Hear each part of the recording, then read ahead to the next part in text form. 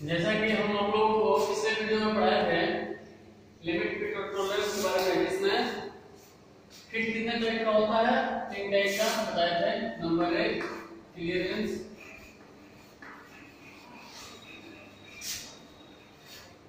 number two interference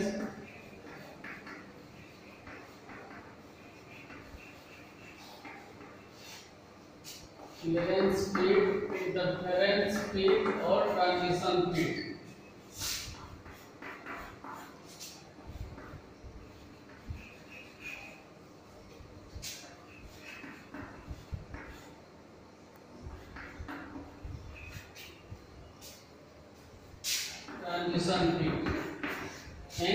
का treatment पढ़ाया था जिसमें आपको हम क्लियरेंस के बारे में पूरी जानकारी पिछले वीडियो में दे दिए थे।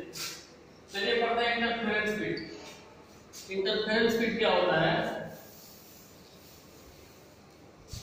इंटरफेरेंस स्पीड में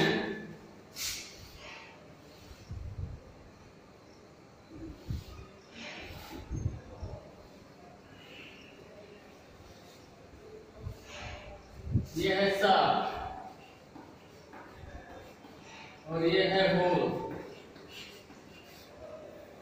तो अगर इंटरफेरेंस फिट में होल का डायमीटर साफ़ के डायमीटर से कम हो तो इसको हम इंटरफेरेंस फिट बोलते हैं। या फिर होल का डायमीटर जब साफ़ के डायमीटर से कम होगा तो उसको हाइड्रोलिक या मैकेनिकल प्रेशर देके हम एक दूसरे को आपस में फिट करते हैं।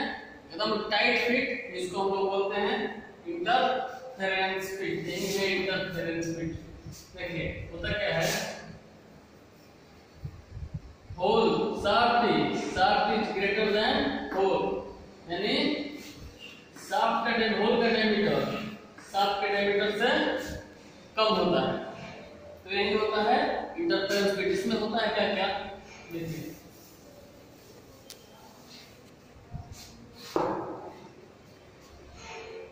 इसके तो अंतर्गत आता है नंबर ए में श्रिंकेज स्पीड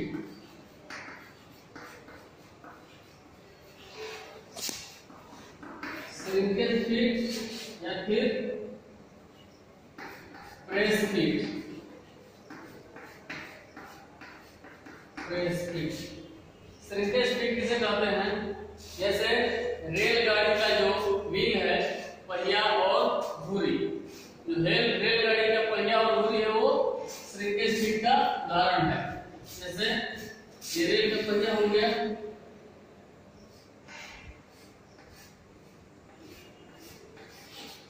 और इसका जो होल है इस होल को हीट करके गर्म करके उसमें शाफ्ट को लगा के और फिर ठंडा होने के लिए छोड़ देता है तो ये आप उसको एकदम जकड़ लेता है। तो यही होता है स्पीड जैसे बैलगाड़ी का चक्का ये भी स्पीड का उदाहरण है।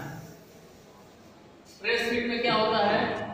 प्रेस स्पीड में अगर ये होल है, और इसमें इतने बड़े शाफ्ट को हाइड्रोलिक या मैकेनिकल प्रेशर देके प्रेस करके या हैमर हथौड़े की चोट से या फिर हाइड्रोलिक प्रेशर देके या फिर मैकेनिकल प्रेशर देके इसको होल में कैसे भी हम को एकदम प्रेस करके फिट कर देते हैं। इसी को बोलते हैं हम लोग इंटरफेरेंस फिट अब देखिए।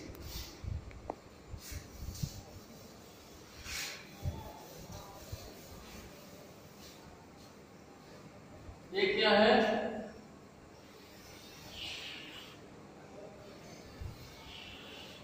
ये बॉल बेरिंग है। क्या है बॉल बेरिंग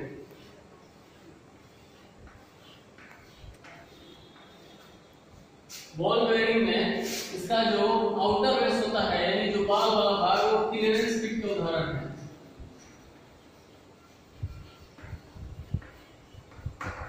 लेकिन जो इसका इनर रेस होता है, ये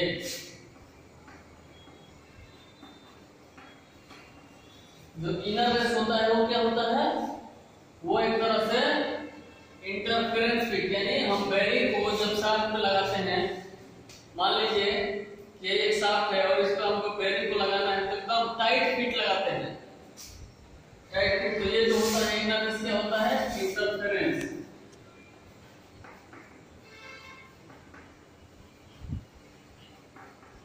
इंटरफेरेंस फिट समझ गया?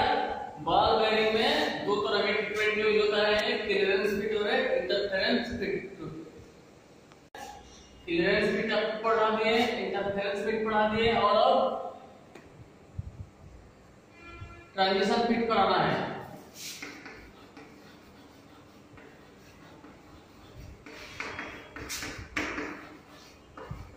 ट्रांजिशन फिट के अंतर्गत आता है उस फिट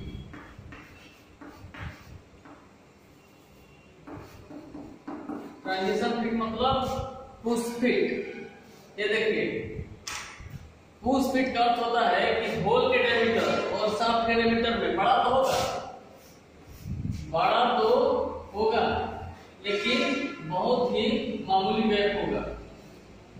जैसे कि इसको लिखते हैं हम होल और इसको लिखते हैं साठ अब इसको लिखते हैं कि साठ जो है बड़ा है या बराबर है होल से। क्लियर फिट का मतलब होता है कि हम इस साथ को अगर इस होल में लगाते हैं, या फिर फॉर एग्जांपल ये क्या है? ये एक होल जैसा है और ये सांप जैसा है। जब हम इसको इसमें लगाते हैं और अंगूठे से ऐसे प्रेस करते हैं तो ये फिट हो जाता है, निकलता नहीं है। यानी इस टाइप के फिट को हम लोग बोलते हैं ट्रांजिशन फिट यानी पुश फिट यानी होल और डायमीटर और शाफ्ट का डायमीटर लगभग बराबर हो ही मामूली सा डिफरेंस हो चलिए किट के बारे में आप लोग समझ गए।